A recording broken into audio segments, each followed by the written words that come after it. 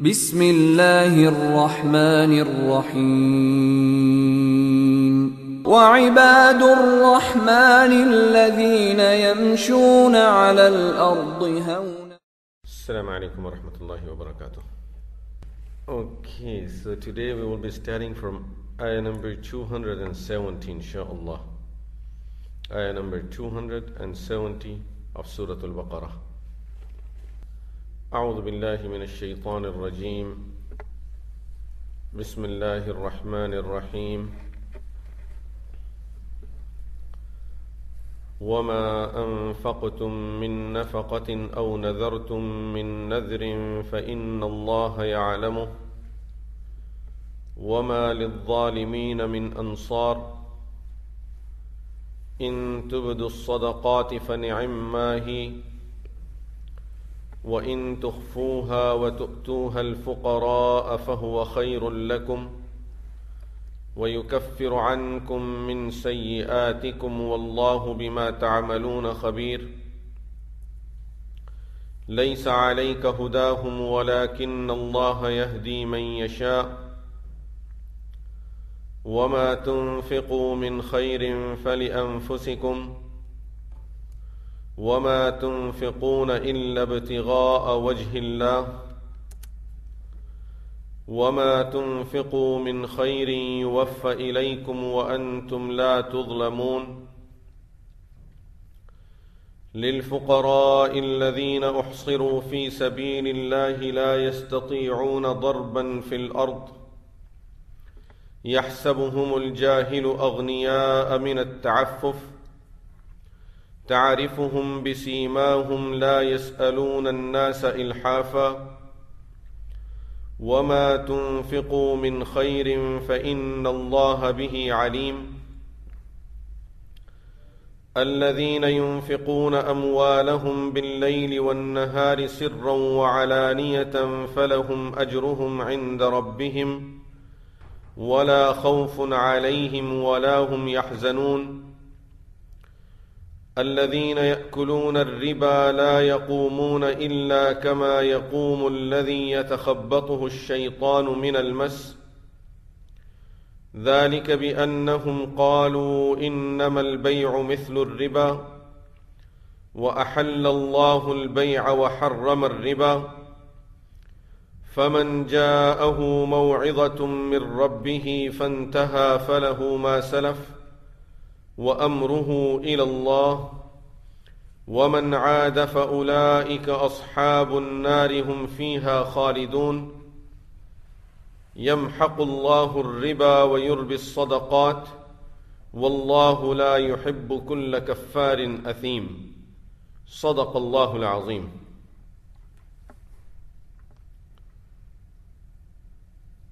Once again, we are starting from ayah number 270. And if you look at the previous ayahs, they were about infaq, spending in the way of Allah subhanahu wa ta'ala. In which Allah subhanahu wa ta'ala told us the rules of spending, the virtue and the benefit of spending. And then in ayah 268, Allah subhanahu wa ta'ala told us how shaitan tries to stop us from spending in the way of Allah subhanahu wa ta'ala. And then 269, Allah subhanahu wa ta'ala told us that you need understanding, you need hikmah to understand and to be able to follow the orders and the rule of the sharia. Because otherwise, shaitan will always trick you and stop you from doing what you are supposed to be doing.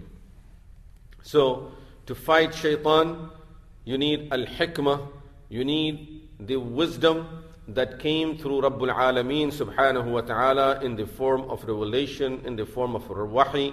The highest level of hikmah is Quran and the sunnah of Rasulullah sallallahu alayhi wasallam, the hadith of Rasulullah sallallahu alayhi wasallam. The same topic is continuing about spending. Allah subhanahu wa ta'ala in this ayah 270 says, وما أنفقتم من نفقة أو نذرتم من نذر فإن الله يعلمه. One thing that I must remind about today's topic It's a continuation of infaq, of spending. But we have to remember that these ayahs, starting from ayah number 270 and going all the way up to 274, after which the ayat of riba will start, which is also connected to this. But 270 to 274, sometime if we don't know the connection of the ayahs, understanding the meaning becomes very difficult in these ayahs, especially this section.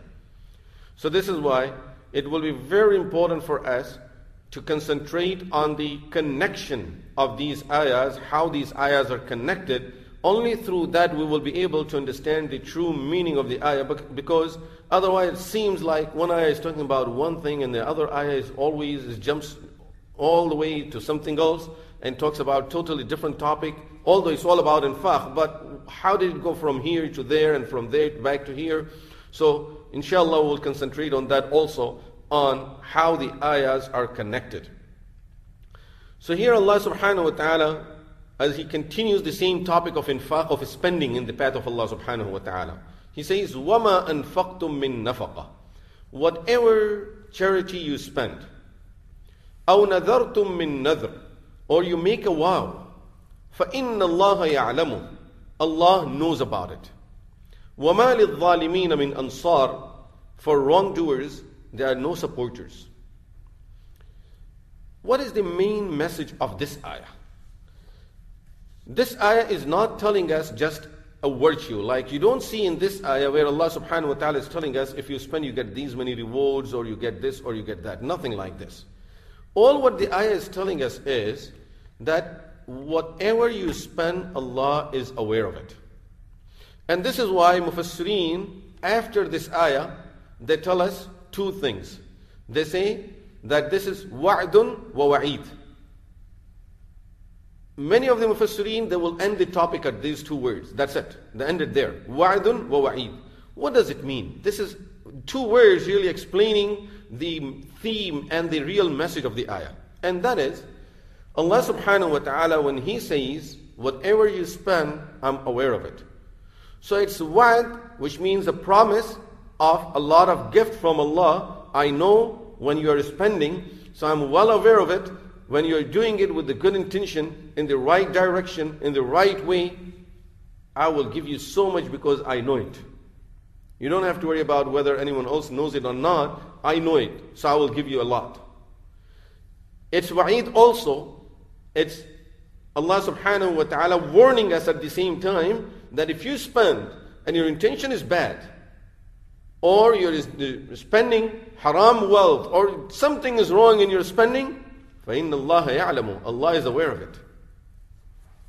So, it's wa'ad and it's wa'id. It's a promise of gift, of return, of reward, and it's a warning of Allah's punishment also. So now, وَمَا أَنفَقْتُم مِّن نَفَقَةٍ Whatever you spend, فَإِنَّ اللَّهَ يَعْلَمُ Allah is well aware of it. So we have to keep in mind that spending is not something that I can spend with whatever intention I have in my mind, and if it is not good, then it's my money. I could spend it for whatever I want. Allah subhanahu wa ta'ala, this is one thing. Earning and spending is something that every human being is responsible for everything that he earns and everything that he spends. Abdullah ibn Mubarak, rahimahullah, was asked that if there is a person who could earn a lot. And by earning, he could spend on his family, he can spend more on his family, and then he can help the causes of deen a lot. What would you suggest for that person? Is better for him not to get into that business where he will earn a lot and then help people, or uh, is better for him to uh, not to get into it? Get into, uh, into it, or he shouldn't get into it.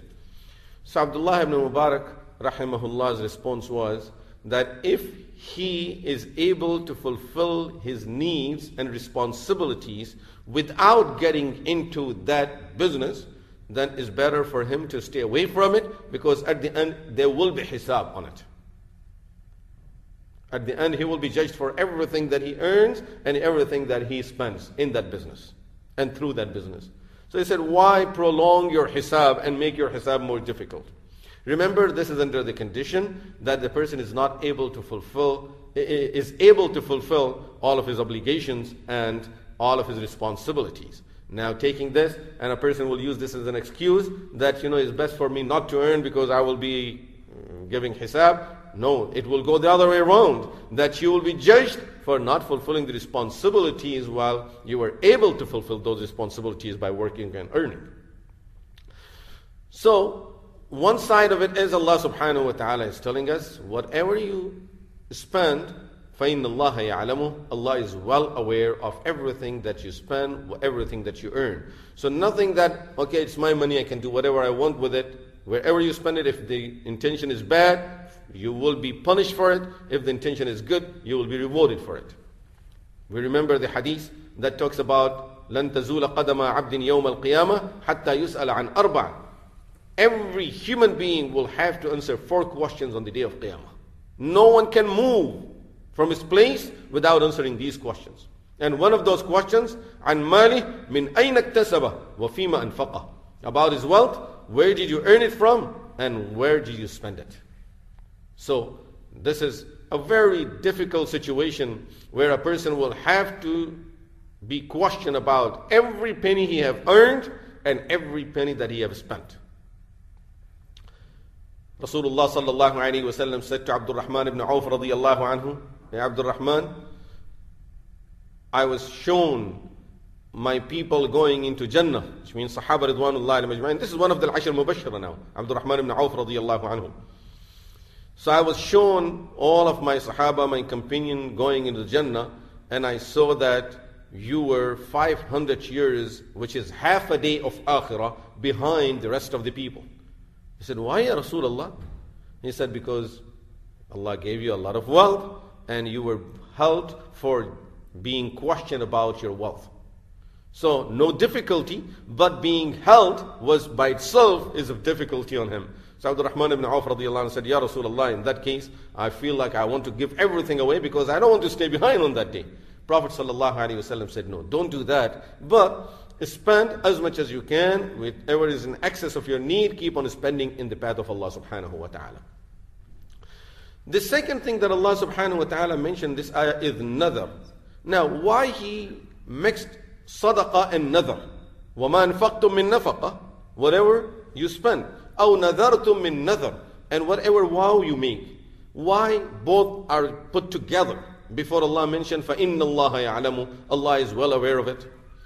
The reason is, of course, one thing we need to remember why even I'm raising this question, because nadar is not always based on spending on wealth. Nadar could be, I will perform 10 rak'ah nafil. I will fast for one month. I will sacrifice and uh, offer a sacrifice. Uh, I will recite 15 juz of Quran. I will, I will say uh, tasbihat, uh, say subhanallah 100 times. It could be any of those things, could be nadar. So why nadar is connected to infaq here? Because people were in the habit, especially in those days.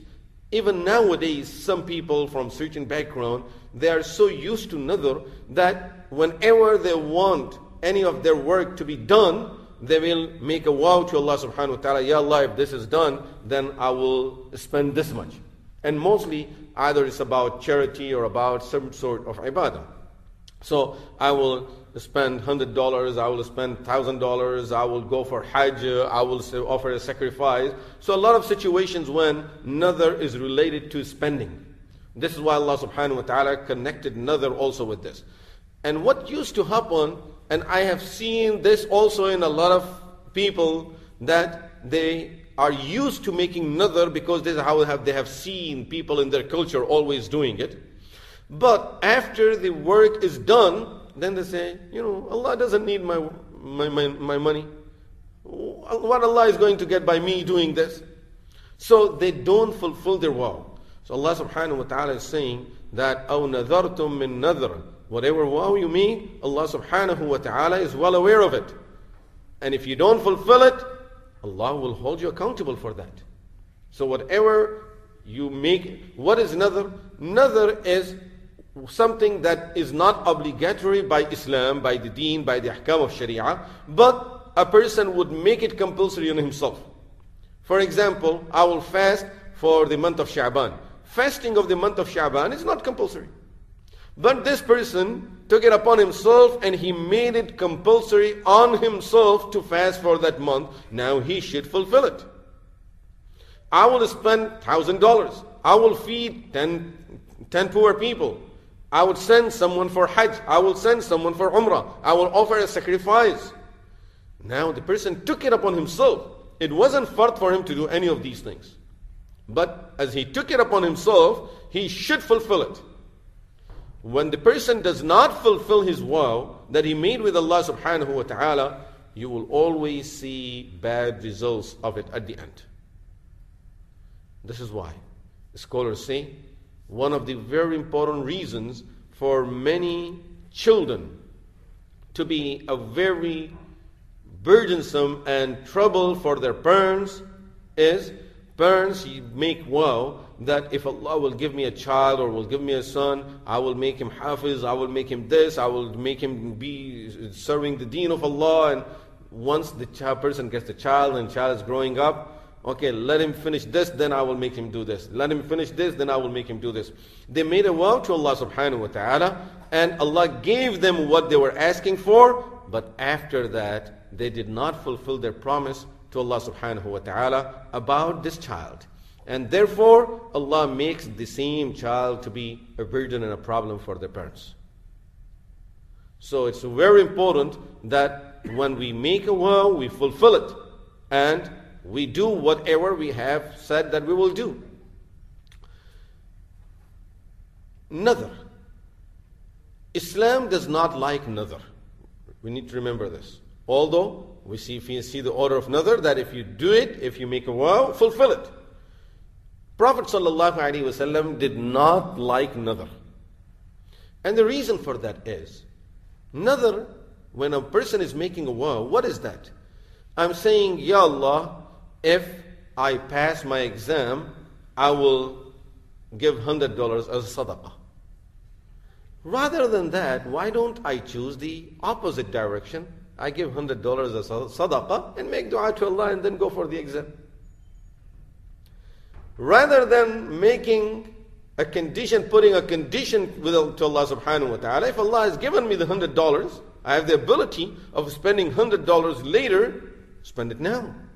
And then make dua. Your dua will be powerful and you are not spending it with that condition, under the condition that I will only because my work is done. Now you spend it just because you want the rida of Allah subhanahu wa ta'ala, you want the pleasure of Allah subhanahu wa ta'ala, and through that you're making dua to Allah that, Ya Allah, here I'm giving some charity, hopefully that will purify me, clean me, get me closer to you, and I'm making dua, Ya Allah, fulfill this need of mine.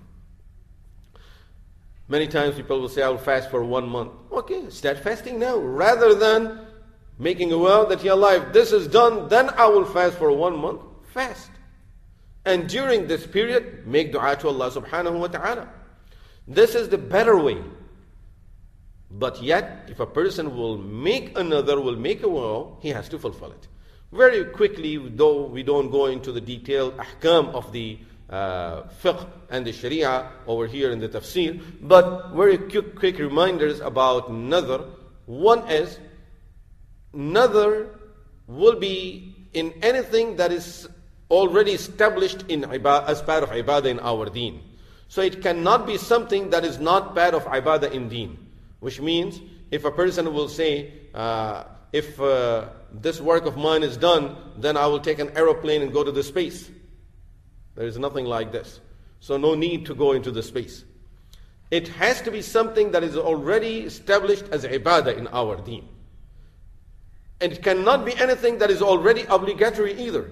Because, Ya Allah, if, my, this, if I pass this exam, I will start praying Salatul Zuhr every day.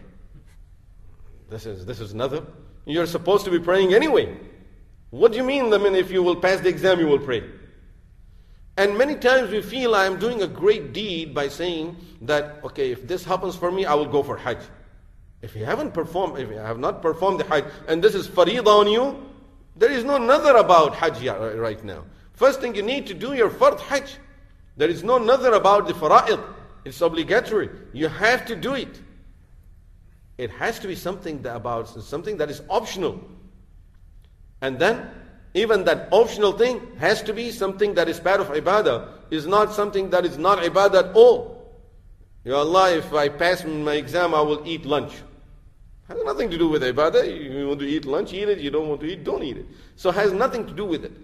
The point is, it has to be something that is already established as ibadah. And number two, it cannot be anything of the fara'id.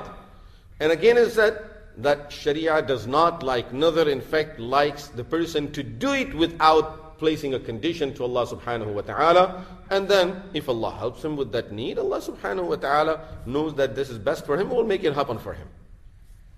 But anyway, if a person will make a nadr, does make a nadr, should fulfill it. وَمَا لِلظَّالِمِينَ مِنْ أَنصَارٍ There is no helper for the wrongdoers, that if a person does not fulfill his nazar, does not spend at all in the way of Allah, and his all of his expenditure is in a wrong direction, مَا لِلظَّالِمِينَ مِنْ أَنصَارٍ The wrongdoers will not have any supporters, any helpers. Now the second question comes, okay, I want to give the charity, I want to give it in the best way, I want to make it the most rewarding charity. Should I give it openly or secretly? Allah subhanahu wa ta'ala in the next ayah is answering that question. In tubdu sadaqati fani'immahi. If you make the sadaqat openly, it's good. Wa in tukhfuha. And if you keep it secret, وَتُؤْتُوهَا الْفُقَرَاء and give it to the needy people, فَهُوَ خَيْرٌ لَكُمْ That will be much better for you. وَيُكَفِّرُ عَنْكُم مِّن سَيِّئَاتِكُمْ In either case, Allah will forgive some of your sins through the sadaqat. Wallahu bima ta'maluna khabir. Allah is well aware of what you do. So Allah subhanahu wa ta'ala told us both sides of it. In tubdu sadaqat fani'immahi. If you give the sadaqat openly, it's good enough. But it's always best to keep it secret. So the general rule is sadaqah of sir. Sadaqah that is given secretly is better than the sadaqah that is given openly. Now, this is the general rule. In some situations, sadaqah that is given openly could be better just because of that specific situation. The general rule is sadaqah sir is always afdal. But for certain situations and reasons, the sadaqah that is given openly could become better in those situations. For example, some of the fuqaha say that if a person is giving out zakah, it's better to give it openly because when you perform salah, it's better to do it with jama'ah, fard. Salat al-fard, we do it with jama'ah. Zakah is fard. So therefore, and when we perform fard with jama'ah, it encourages other people to come and join the jama'ah. So therefore, when you give zakah openly, other people will get the encouragement of paying the zakah also. Because many times people forget, they don't remember. So if a person will give it openly saying that this is zakah, so it will be better in that situation. But many others are of the opinion that is still even zakah is better to give it secretly, except if he wants to really remind someone, so only letting those people know that I have given my zakah or I'm giving out my zakah. Number two, some of the scholars say that if there is a person who is in the habit of asking people all the time, so maybe good to give him openly so other people know that okay, someone has already helped him. So everyone won't just keep on giving him thinking that no one is doing anything for him. But if a person is not of the habit of asking, and sometime he came and asked, it's good to give him secretly. Also, sometime people need encouragement. Say, for example, you are collecting funds for a good cause. And someone notices that people are not spending, people are not getting, giving, giving anything. So a normal person who is known in the community that his income is not too high, this is just living on a day to day basis, he gets up and he says, I will give thousand dollars. So now by this, other people who are known in the community to be well to do and earning good, mashallah, and they're making good money, they will be ashamed to say, I will, give, I will be giving hundred dollars. Because this poor man is giving $1,000 and you're going to give $100 only. So this person may feel, okay, now I should give at least two, three thousand dollars. So, in that type of situation where you want to encourage people to do khair, khair and to take part in spending, as long as this person's intention, intention is good, himself is good. If his intention is something else, that okay, now I, it's my chance. People will know that how generous I am, or at least I will make them know that I'm a good person too. That will be wrong. As long as the intention is good, and the intention is to encourage others to give more, or at least to give, that will be a good intention to give the sadaqah at that time openly. But as I said, it will, the sadaqah that is given openly, it will be because of a situation, and the person has to judge the situation. As far as giving secretly is always good. Secret sadaqah is always good. We may remember the hadith which is in the Sahih. Rasulullah sallallahu alayhi wasallam mentions seven type of people that will be under the shed on the day of Qiyamah, under the shed of the arsh of Allah subhanahu wa ta'ala. سبعة يظلهم الله تحت ظله وفي رواية تحت ظل عرشه يوم لا ظل إلا ظله And one of those seven people will be رجل أنفق تصدق بصدقة فأخفاها حتى لا تعلم شماله ما تنفق يمينه a person who gave such a secret sadaqah that his left hand doesn't know what he has given with his right hand. Which means no one knows what he's spending. Also, there is another hadith in, in Sunan al-Tirmizi. Rasulullah sallallahu alayhi wa sallam said, لما خلق الله الأرض When Allah subhanahu wa ta'ala created the earth, فجعل التميد The earth started shaking. فخلق الجبال Allah subhanahu wa ta'ala created the mountains. And when He placed the mountains firmly in the earth, so the earth stopped shaking. So Malaika were surprised to see the power of the mountains. How? Waljibala autada. These mountains are like nails holding the earth in place and balancing it. So they asked Allah subhanahu wa ta'ala, Ya Rabbana, أخلقت ما هو أشد من الجبال? Have you created anything that is more powerful than the mountains? Allah subhanahu wa ta'ala said, Na'am, al-hadid. The metal is more powerful. It can break the mountains. We see all the machinery that they use, the tractors and all of those that they use for breaking the big mountains and uh, uh, the big rocks, all um, out of iron, out of metal. So Allah subhanahu wa ta'ala says that is more powerful. So they asked, Ya Rasul, Ya Rabbana, أَخَلَقْتَ مَا هُوَ أَشَدُّ مِنَ الْحَدِيدِ Have you created anything that is more powerful than the iron? Allah subhanahu wa ta'ala said, نعم النار, the fire. You put the iron in the fire and it will melt. Ya Rabbana, أَخَلَقْتَ مَا هُوَ أَشَدُّ مِنَ النَّارِ have you created any, anything that is more powerful than the fire? Allah subhanahu wa ta'ala said, Na'am, al-ma, the water, it puts off the fire. Ya Rabbana, أخلقت ما هو أشد من الماء? Have you created anything that is more powerful than the water? Allah subhanahu wa ta'ala said, Na'am, al-hawa, the wind, it keeps on blowing the water here and there. Ya Rabbana, أخلقت ما هو أشد من الهواء? Have you created anything that is more powerful than the wind? Allah subhanahu wa ta'ala said, yes. Ibn Adam تصدق بصدقة فأخفاها When a person gives a secret sadaqah that is more powerful than all of these things. Imagine the power of sadaqah. And no restriction of how much it is. Everyone according to his situation. To the extent Prophet sallallahu alaihi wasallam used to say to Sahaba Ridwanullahi alayhim ajma'in, ittaqun nar, protect yourself against the fire, walau bishiqqi tamrah, even if it is by half a date. That's all you have, one date, break it into half, give half as a sadaqah. Subhanallah, the habit of giving. See the habit of giving that Prophet ﷺ developed amongst the Sahaba Ridwanullahi alayhim ajma'in, it's very unique.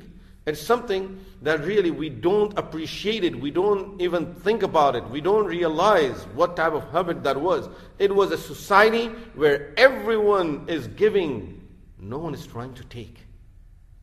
We are living in a society where everyone is trying to take.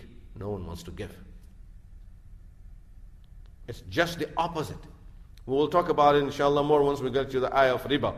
Over there we will see how there are two different cultures, there are two different qualities, there are two different habits of people. But here we see that how Prophet ﷺ is really making everyone in that society in that society to be the giver and wants to just give. Subhanallah, a person has nothing, nothing except one date. Prophet ﷺ says, don't eat the whole date. Don't eat the full date yourself. Give half of it to someone else. Beautiful society. Beautiful behavior, akhlaq. When people talk about behavior, about akhlaq, there is something that they miss.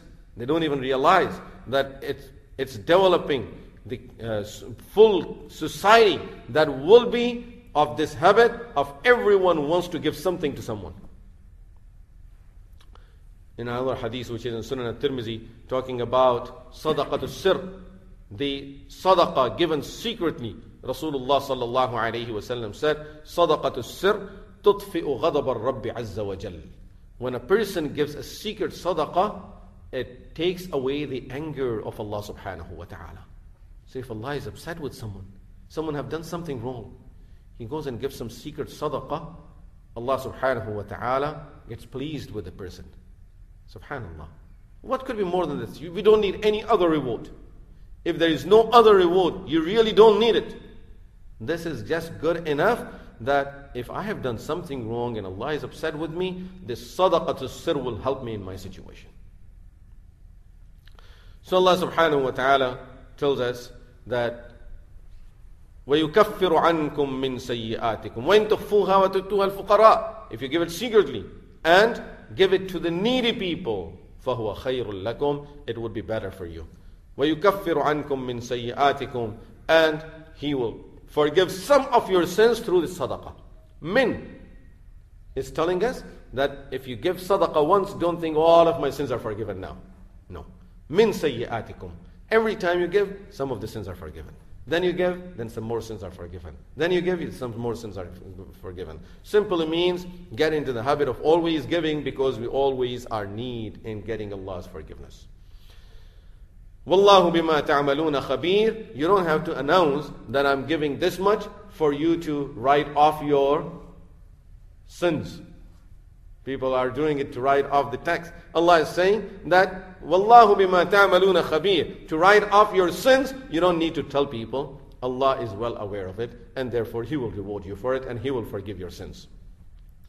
ليس عليك هداهم ولكن الله يهدي من يشاء. Now pay attention to the meaning of the ayah, translation of the ayah. Allah says, ليس عليك هداهم. It is not for you to guide anyone. وَلَكِنَّ اللَّهَ يَهْدِي مَنْ يَشَاءُ But Allah guides whomever He likes. وَمَا تُنْفِقُوا مِنْ خَيْرٍ فَلْيَنْفُسِكُمْ Whatever good you spend, it will be for your own self. Now, as I said, if we really don't know the connection, you would start thinking, what is this now? Infaq, and then nadr, and then all of a sudden, the ayah is talking about hidayah. ليس عليك هداهم ولكن الله يهدي من يشاء It's not up to you to guide anyone, Allah guides whoever He likes. What is the connection of here? And then the next part of the ayah again, infaq. What's the connection of hidayah with all of this? And this is where asbabun nuzul play a big role in understanding the meaning, the true meaning of the ayah. Sahaba Ridwanullahi alayhi majma'een came to Rasulullah sallallahu alayhi wasallam with a suggestion that Prophet sallallahu alayhi wasallam also liked it. The suggestion was, Ya Rasulullah, how about we stop helping our needy family members and others around us that are not Muslims? And the reason they suggested this was because, Ya Rasulullah, if we start helping, if we stop helping them, hopefully to get help, they will come into Islam.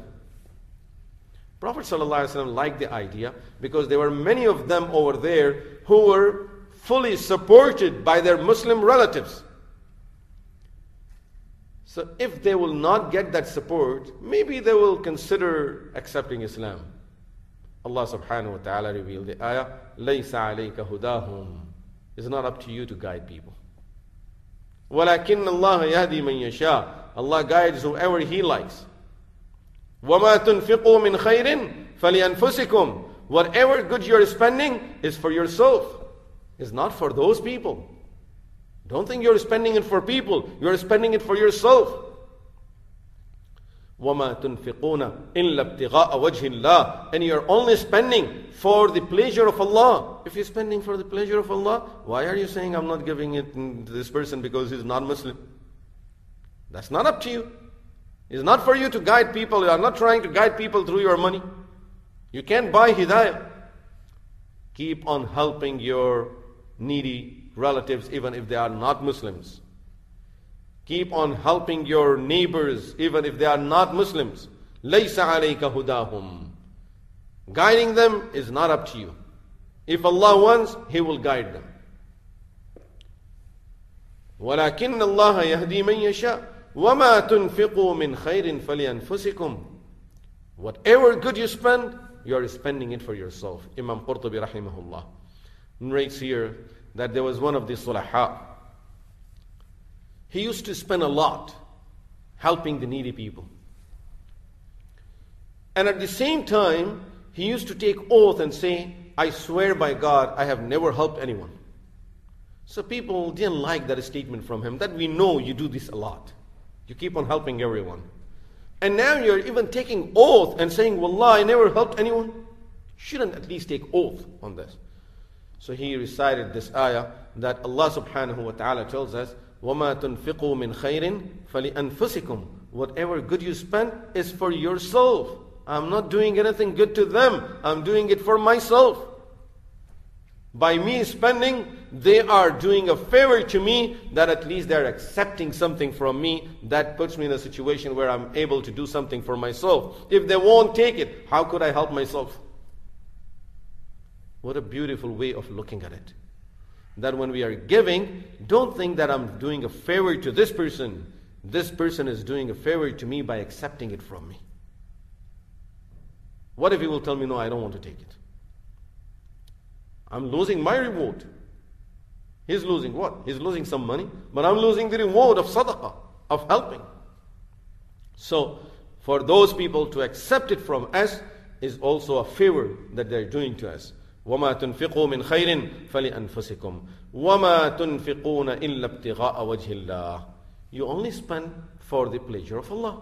If you're spending for the pleasure of Allah, then why are you looking, differentiating between who to give and who not to give?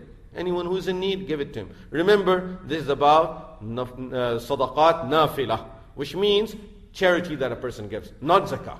Zakah, of course, because it's a specific type of ibadah, it has to be given only to Muslims.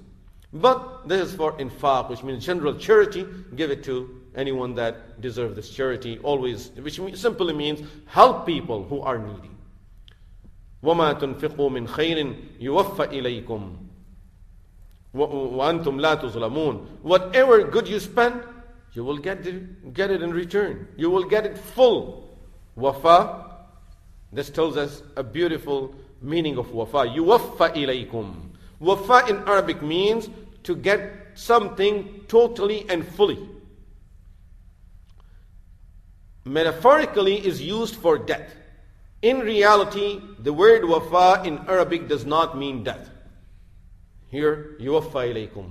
And Allah subhanahu wa ta'ala in the story of Sayyidina Ibrahim alayhi salatu wasalam says, وَإِبْرَاهِيمَ الَّذِي وَفَّى Ibrahim that did everything perfectly. Allah is marking Ibrahim alayhi salam's paper after he went through the exam of all different type of tests from Allah. Sacrifice your son, leave your wife and your son in the desert, go back thousands of miles away from them, and leave your family, leave your parents, and do hijrah from that place. Subhanallah, so many tests that Ibrahim والسلام, went through. Allah subhanahu wa ta'ala at the end, when he's telling us what was the mark of Ibrahim والسلام, in that exam, he says, Alladhi waffa, who did everything 100%. Subhanallah. If Allah is saying He did everything perfectly, 100%, this is waffa. So, yuwaffa ilaykum. You would fully get the reward of it. Nothing will be reduced, nothing will be missed. وَأَنْتُمْ لَا تُظْلَمُونَ And no wrong will be done to you. The reason I pointed out this, Because sometimes people try to confuse you about the ayah related to Isa alayhi salatu wasalam. When Allah subhanahu in Surah Al Imran, when Allah subhanahu wa ta'ala says to Isa alayhi salam, إِذْ قَالَ اللَّهُ يَا عِيسَى إِنِّي مُتَوَفِّيكَ And they translate this as, O Isa, I will cause you to die. No, Allah is telling him, I will take you fully. I will not just take your ruh, I will take your ruh and body both. Mutawaffika. Otherwise, imagine the situation under which the ayah is revealed and Allah is promising Isa something. What Allah is promising? From Quran we know Allah is promising him is that inni mutawaffika. I will mutawaffika. We'll come back to the translation of it. The Jews of that time, who were the, against Isa alayhi salatu wasalam, they were plotting to kill Isa alayhi salatu wasalam. Isa alayhi salam made dua to Allah to protect him against those people, against his enemies. Now, Allah subhanahu wa ta'ala accepted his dua. And he revealed, he told him, promised him this. If you translate this, Ya Isa inni mutawaffika, O Isa, you're telling me to protect you against Jews, I will kill you myself. What does that mean? Is Allah helping him or telling him before they will kill you, I will kill you? That's not a help. That if someone is asking you to save him against other his enemies because they are trying to kill him, and you'll say, That's good. If they don't kill you, I'll kill you. No, Allah subhanahu wa ta'ala is saying, Inni mutawaffika. I will take you fully. How? Rafi'uka ilayya. By raising you up to me. وَمُطَهِّرُكَ مِنَ الَّذِينَ كَفَرُوا And I will purify and clean you from all the disbelievers.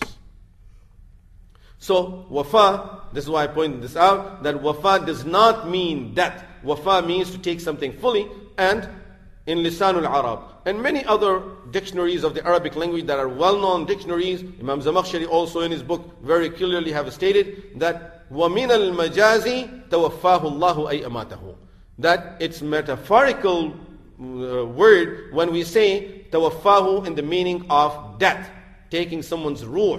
Otherwise, in reality, wafat does not mean death. And this is the rule of any language that you don't take the metaphorical meaning if there is no need for it. You take the real meaning, the original meaning of the word. So anyway, Allah subhanahu wa ta'ala says, وَمَا تُنْفِقُوا مِنْ خَيْرٍ يُوَفَّ إِلَيْكُمْ Whatever good you would spend, you would fully get it in return. وَأَنْتُمْ لَا تُظْلَمُونَ No wrong will be done to you. لِلْفُقَرَاءِ الَّذِينَ أُحْصِرُوا فِي سَبِيلِ اللَّهِ لَا يَسْتَطِيعُونَ ضَرْبًا فِي الْأَرْضِ Again, pay attention to the translation and we'll see what is the connection. لِلْفُقَرَاءِ Which means sadaqat, your sadaqat. Your charity should be for those needy people who are confined in the way of Allah. لا يستطيعون ضربا في الأرض They are unable to travel in the land.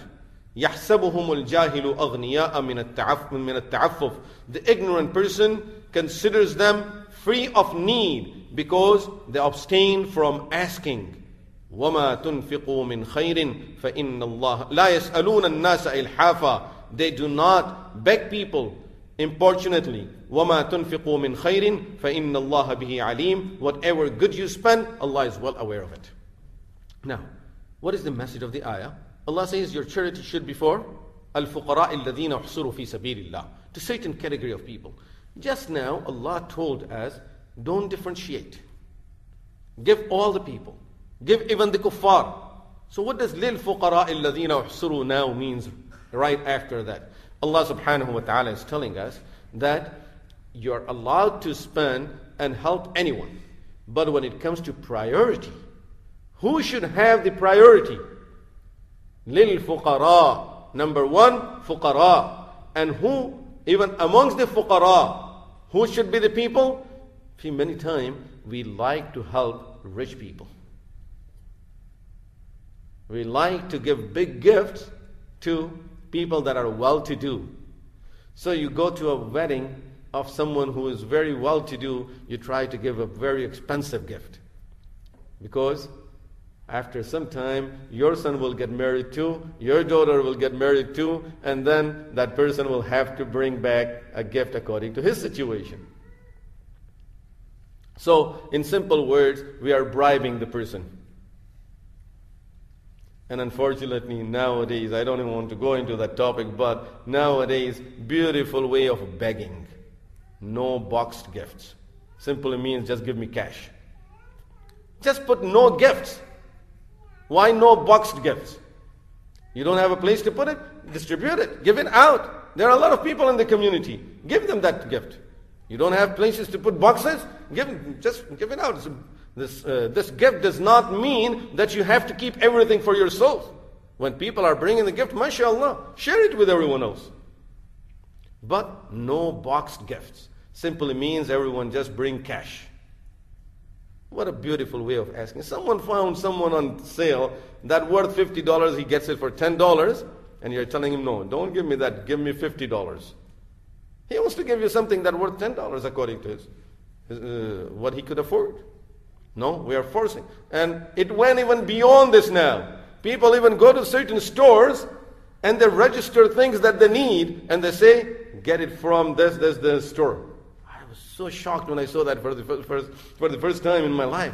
I said, is this is the civilized way of begging? I have seen a lot of people going from door to door like this, putting their hand out. But this is a very civilized manner of begging people that, you know, go to the store and the person, the first people who will go, they will get the cheaper ones. And now the one who will go later on, they will have to buy the expensive gifts for you. This is gift. When you're telling people, give me this, buy me from that store, I have registered what I need. I really wish if we can just change that into no gifts. Everyone come and no gifts. That will be the best way. You have no place to put it, no gifts. That's it. Anyway, Allah subhanahu wa ta'ala says, Lil fuqara. Charity should be, the first priority is al fuqara. And which fuqara? الذين أحصروا في سبيل الله. Those who are confined in the way of Allah. Which means those people who are doing work of the deen of Allah subhanahu wa ta'ala. They, in whichever form, they are doing the work of the deen and therefore they have no means of earning. As Sayyidina Abu Dhar al-Ghifari radiallahu anhu says that this ayah mainly refers to Ashab al-Suffah. Those were the people, 400 of the Sahaba ridwanullahi alayhim ajma'in, who were staying by the masjid of Rasulullah sallallahu alayhi wasallam. They would not work they would not go anywhere else. They would spend day and night their time in the masjid to learn the deen of Allah subhanahu wa ta'ala. Allah subhanahu wa ta'ala told the Sahaba, لِلْفُقَرَاءِ الَّذِينَ أُحْصِرُوا فِي سَبِيلِ اللَّهِ When you have something to spend, these are the first people you should look for. Go and spend it on these people. They are the highest priority because أُحْصِرُوا فِي سَبِيلِ اللَّهِ They are staying there from, then they're abstaining from business, from work, from anything else, because they are fi sabilillah, they are learning the deen of Allah subhanahu wa ta'ala over there. So mainly it was referring to Ashab al-Suffah. And through that, of course, other Sahaba Ridwanullah, other people also, who would do any kind of work of deen that is not allowing them to spend time to work for their livelihood.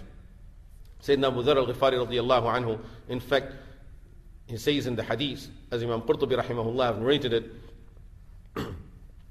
he said, we, the people of Suffah, in the evening, we used to go by the door of Rasulullah sallallahu alayhi wasallam. Time for dinner. We used to go by the door of Rasulullah sallallahu alayhi wasallam. Rasulullah sallallahu alayhi wasallam, after Salatul Maghrib, he used to say to each of the Sahaba in the masjid that take one person with you. Take one of these people with you, go and feed him with your food. MashaAllah. Beautiful. Because they have nothing else, they have no other means of having any food. So, each person take one person at least. If you can afford to take more than one person, take as many as you can. Abu Dharr radiallahu anhu says, at the end, about 10, 15 of us would be left in the masjid. So Prophet ﷺ used to take all of us to his home. And we used to share the dinner of Rasulullah wasallam. What was that? Generally, few dates and a glass of milk that we all will share with Rasulullah sallallahu alaihi wasallam. This is what the ayah is about. This tells us that charity is good and charity anywhere is good. The highest priority is الَّذِينَ احْصُرُوا فِي سَبِيلِ اللَّهِ Those who have who are staying for fi sabilillah, they can't do anything else. They can't. They, they are not able to make to earn and to make their livelihood because they are fi sabilillah and they don't want to go away from what they're doing. Rasulullah sallallahu alaihi wasallam, when we look where he used to spend his money, whenever he wanted to give charity, we will realize that generally Prophet sallallahu alaihi wasallam's charity, sadaqah was given to these people. الذين احصروا في سبيل الله لا يستطيعون ضربا في الأرض They cannot travel in the land, which means for business, for work. They can't go anywhere. They're just staying there because, and the thing that is holding them back is not that they are not intelligent, they don't know how to do business, they don't know how to work, they have no way of earning. No, it's only because they are fi sabilillah and they devoted themselves for that. يحسبهم الجاهل. آه... يحسبهم الجاهل أغنياء من التعفف. Jahil in our language generally when we say jahil especially outside of arabic when you say jahil it's just like a curse word that you're ignorant. But in arabic the word jahil means the person who has no knowledge the person who doesn't know this field. For example when it comes to medicine i'm jahil. When it comes to business i'm jahil. When it comes to a lot of fields of life being the law of the country i'm jahil. This is all jahil we all are more jahil than we are alim. All of us. And every person in the world is more jahil than his alim. Which means we don't know a lot of things. Allah subhanahu wa ta'ala says, يَحْسَبُهُمُ الْجَاهِلُ أَغْنِيَاءَ مِنَ التَّعَفُّفِ The ignorant person considers them rich because they don't ask. لا يسألون الناس إلحافا They do not insist in asking. وما تنفقوا من خير فإن الله به عليم Whatever good you spend, Allah is well aware of it. Still, there is some explanation needed. There are certain points in this ayah that we need to go through. Inshallah, we will try to cover it in our next session. أقول قولي هذا وأستغفر الله لي ولكم ولسائر المسلمين والمسلمات وآخر دعوانا أن الحمد لله رب العالمين. مولاي صل وسلم دائما بك خير